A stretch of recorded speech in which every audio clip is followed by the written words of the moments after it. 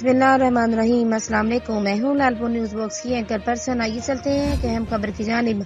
लड़कियों को मोटरसाइकिल पर बिठाकर वन बिलिंग करने वाले मुलजिम शाह नवाज़ उर्फ़ छोटा बच्चा को डॉल्फिन पुलिस ने गिरफ़्तार कर लिया। दौरान गिरफ्तारी पुलिस टीम को शदीद मजामत का सामना करना पड़ा। वन बिलिंग जैसे खूनी खेल को रोकने के लिए पंजाब पुलिस सख्त कार्रवाई अमल में ला रही है।